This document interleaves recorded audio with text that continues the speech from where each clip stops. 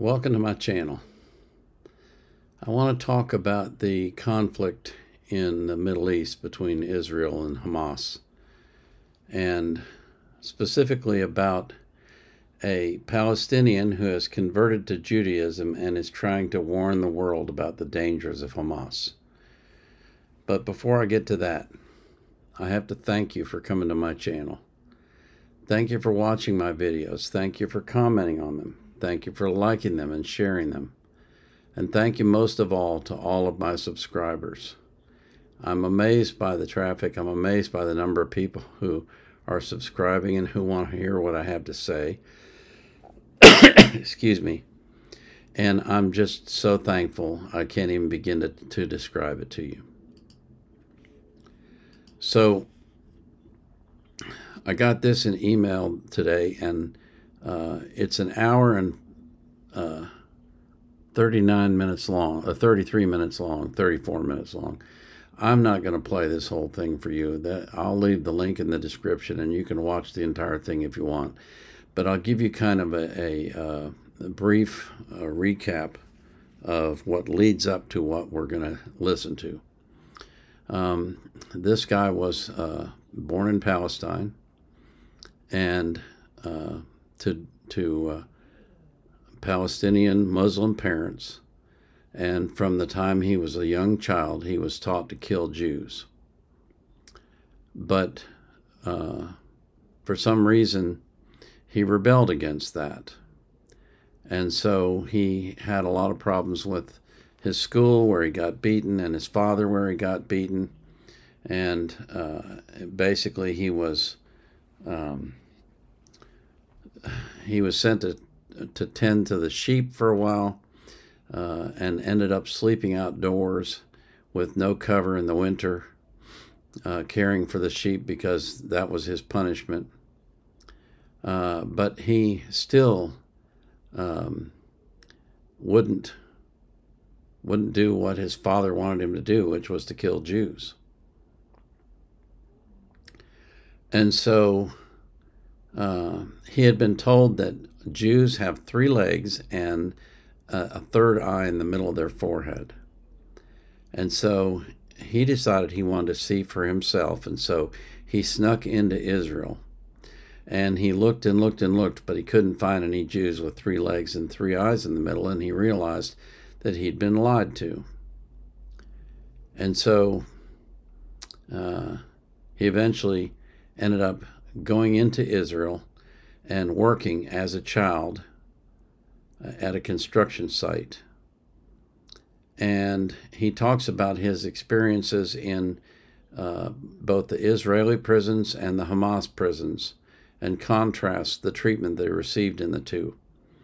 And his story is really amazing. Um, he, he is now a a converted Jew with a certificate of conversion and living in Israel. And, and, and uh, I don't know if he is now, but he was at least at one point in the Israeli army. And the part where, that we're going to listen to is where um, he is coming to America to warn Americans about what's coming. That's what he says, what's coming. He doesn't tell you what's coming, but he says he wants to warn about it. And so, this last part that we're going to listen to is him describing um, what's going on in Palestine and um, what he thinks, how he thinks that the Palestinians ought to be treated. And I can tell you that this man, who was born Palestinian and has family living in Palestine, says that there are no innocent civilians in Palestine. So that's his point of view. Uh, I think this is important to listen to because we have to know what's going on truthfully, and we're not going to get that from the media. So, without any more jabbering on my part, let's listen to what he says.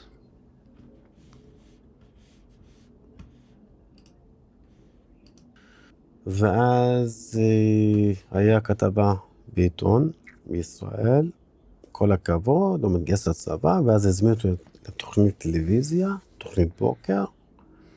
ושאלתי שאלה, ואם ישלחו אותי לפנות מתנחלים, בדיוק היה התנתקות ב-2005. זה מתי שהוציאו את היהודים מעזה. מגוש קטיף, נווה דקלים, כן, מעזה, כן. מגוש קטיף, יהודה ושומרון, כן. נווה דקלים. אה, ואז אה, אמרתי, רגע, רגע, רגע, בוא נעשה סדר. אם אני מתגייס לצבא, אני שומע על המדינה ועל אזרחיה. אני לא מפנה מתנחלים, אני לא הורס בית כנסת, אני לא מוצא אנשים מתים מהקברות שלהם, והתנתקות זה סכנה למדינת ישראל. זה המשפט שלי. זה סכנה למדינת ישראל. והצבא קשור אליי, ביי ביי, תודה רבה, אתה לא מתגייס. כאילו אני מתחיל לעשות בעיות, ואז עשיתי שלט, שלוש מטר לשתי מטר, בשעה הבאה פלסטינאי שהתגייר, תתנו להם, תקבלו. אמרו, מה נקבל? מה ניתן? תתנו להם שטחים, את הכוש קטיף, נבית קלים, משם תקבלו טילים וקסאמים. אתה מה אמרו לי? שאני ימני קיצוני, שאני גזען, שאני שונא ערבים. זה הם... נכון?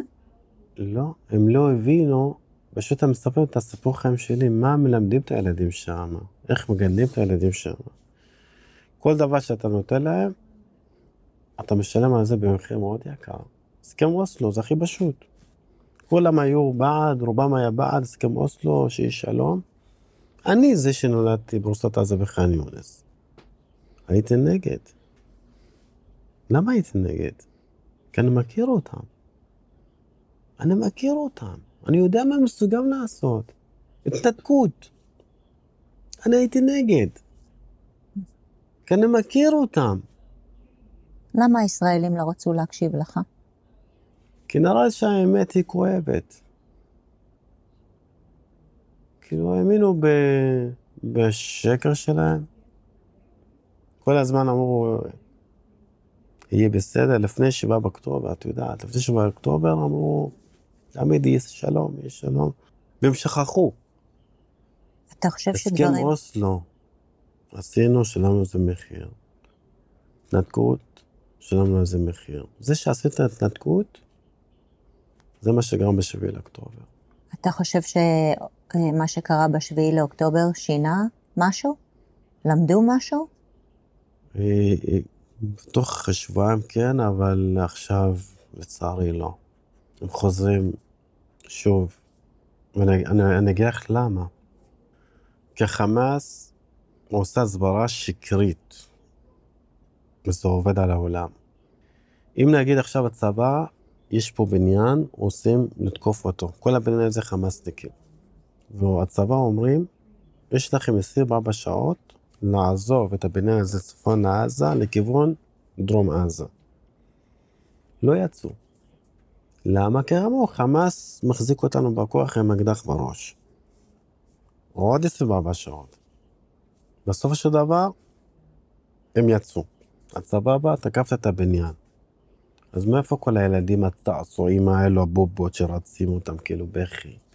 לוקחים ילדים באמת, חיים, מאפרים אותם באדום, תסתכלו. והילדים, הם נוגעים לכל אחת. לאנשים, זה נוגע ללב הילדים. בטח. זה מה שנגע לעולם, אבל זה שקר.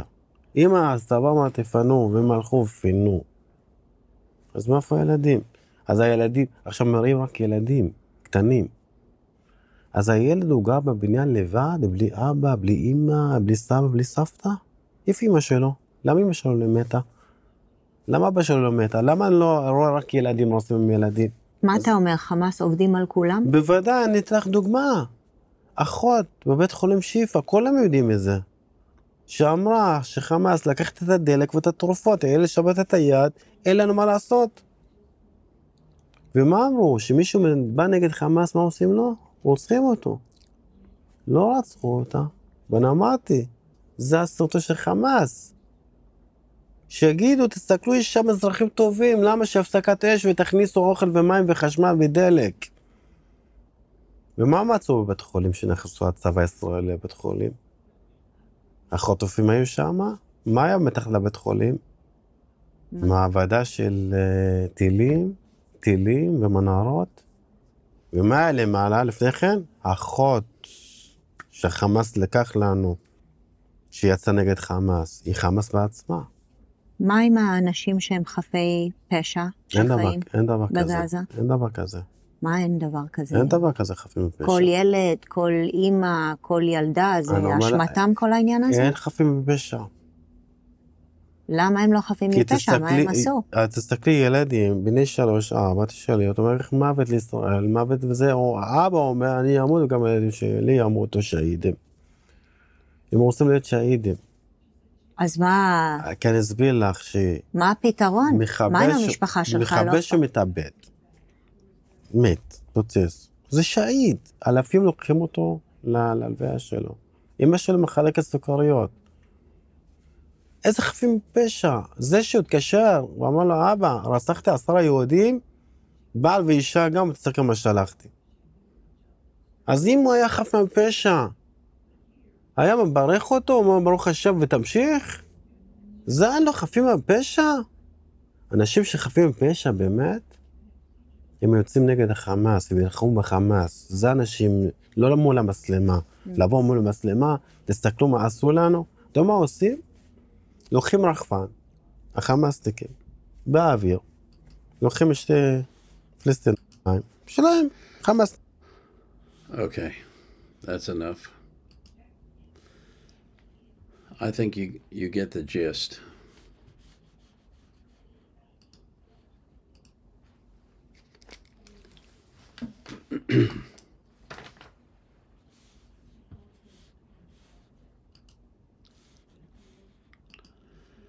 when he says there are no innocent people in Palestine, you can see that the interviewer is visibly ta- visibly taken aback. She she says, "No innocence. You, there's nobody that's innocent." But this guy was born and raised there. He knows what he's talking about. When he was a young child, and I don't remember his age, I think he was seven. he was going to the market with his mother when a head came rolling by him on the street. They had just beheaded someone who they said was cooperating with Israel. And he describes people being tortured, people having their arms and legs cut off, and then their heads cut off. When he was a child, that's what he had to watch.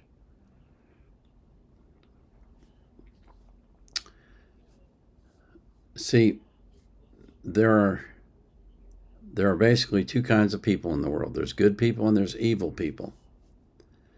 And not all evil people will remain evil for their entire lives. Not all good people will remain good for their entire lives. But there are some evil people who will always be evil and never change. And those are the people that will lie to you, that will play on your emotions, as he talks about with the the kids with the fake blood on them. And we've seen this over and over and again in the world. The communists do it all the time. They use propaganda, they use lies to try and convince the world that they're they're being treated poorly by the other side, when in fact it's them that's doing the poor treatment. When he was in the Israeli hospital, he describes it like a hotel. When he was in the hospital in, or a prison, excuse me, when he was in the prison in Gaza, he was tortured and beaten and driven within an inch of his life for over seven months before they finally released him. and you know what his crime was? He said he wanted to become a Jew.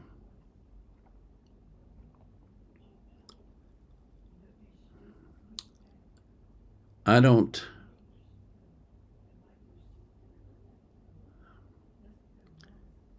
I don't want to sit here and say that every single Palestinian is evil, but that's what this man is saying, and he's Palestinian. And the problem that good people have is that they assume that everyone else thinks like they do. They assume that everyone else is honest in their negotiations and honest in what they tell you.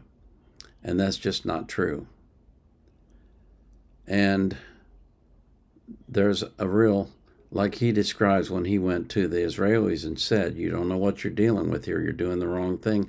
And they said to him, Now, this is mind blowing. You're a right wing extremist and you're a racist. That's what they told him. That's, I mean, that doesn't even compute.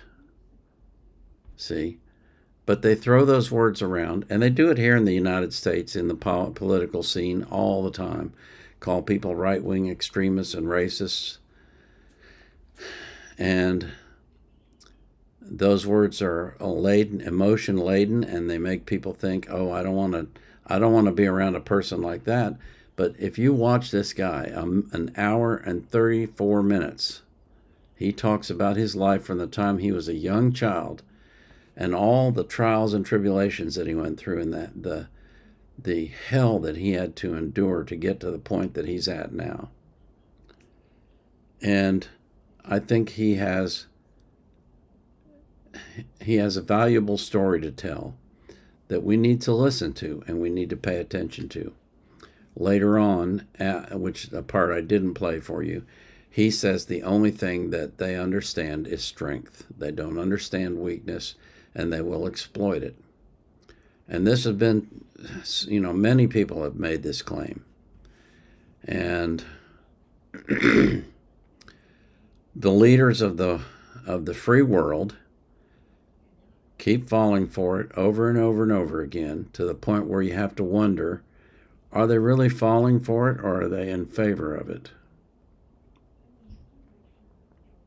I know that's an awful claim to make, but come on we've seen this script, this movie, over and over again, and it always ends badly. And it always ends with worse, much worse violence and war than if we had just said from the very beginning, no, we will not allow this. I've said this before and I'll say it again.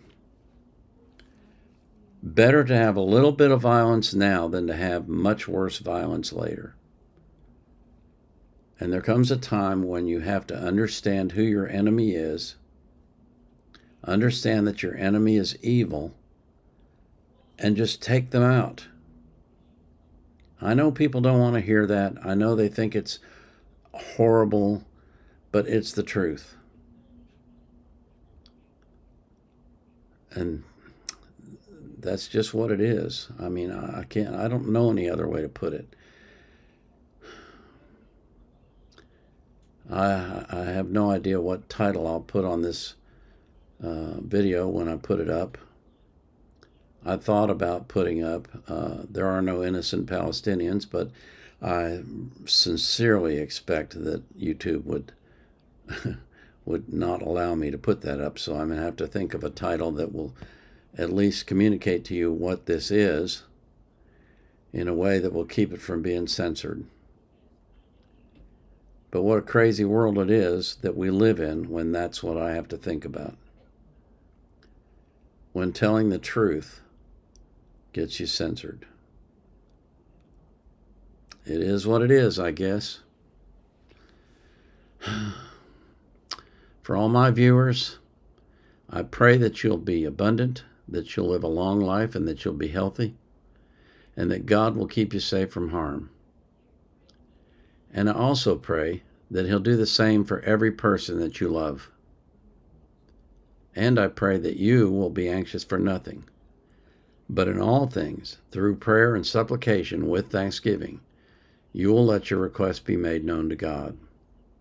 And the peace that passes all understanding will keep your heart and mind in Christ Jesus. This is the Vietnam era vet out.